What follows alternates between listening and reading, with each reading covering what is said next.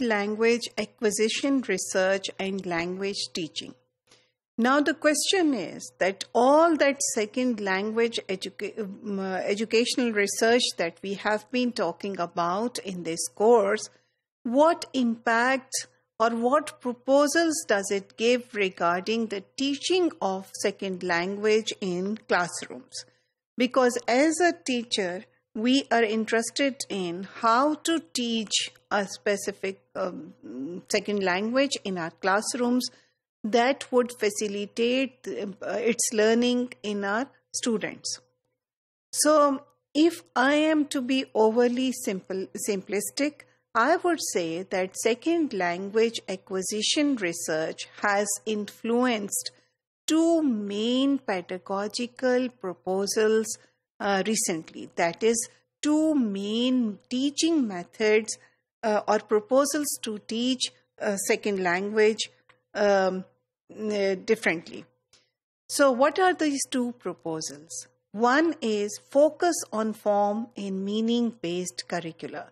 So, second language acquisition research actually highlights the significance on the focus on the form or the structure of the language when the curriculum is based on making meaning of the language extremely important. So you see the interconnection between the form of the language and the meaning it conveys.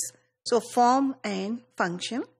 Number two is communicative language teaching. So the other way to, to, to teach a language is to teach a language without focus on the form or the structure of the language, uh, but to teach it communicatively. In this module, we will be focusing on the form meaning interconnection that is proposed by second language acquisition research. And in the next module, we will discuss communicative language teaching. So, if we are talking about form, focus on form, there are four options that second language acquisition research tells us uh, that might help our learners. One is input processing. So we look at how the input or the, the forms of the language that we present to our learners, how do they process it and then how do they use it?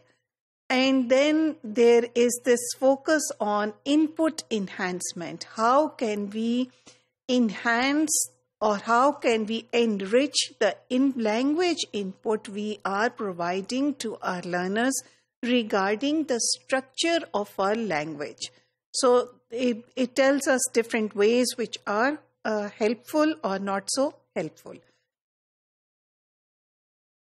Again in form focused uh, output research actually tells us how to use, how to teach a language or to allow our learners to use a language so that they are constantly thinking about how the form of a language is related to its meaning.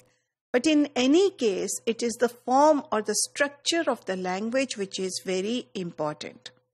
And then we have negative feedback uh, we allow the learner in this case to form a hypothesis or to, to form an assumption about how the language works. We allow them to, to make their own assumptions, to make mistakes, and then we provide negative feedback. Now, having said that, let me remind you negative feedback does not mean strongly coming. Um, mm, clamping down on mistakes or to or to be strict about the mistakes that the learners are making and to sort of like humiliate the learners um, with a very strong negative feedback that they feel demotivated. Negative feedback is only that when the learners make a mistake, then we provide evidence so that they can notice their own mistake. They, we allow them to notice their own mistake and we subtly firm up um, in a certain way, in a subtle way, not very explicit, we provide a negative feedback we have to be very careful how negative feedback is provided because this can also demotivate our learners. Then there are two related pedagogical or teaching related issues. Uh, if you are using this focus on form, second language acquisition, research tells us that the choice of linguistic form in um, where the focus is on the language structure or language form is very important. We should not choose lots of the um, different structures together. We should not use a structure which is too uh, complicated for their age.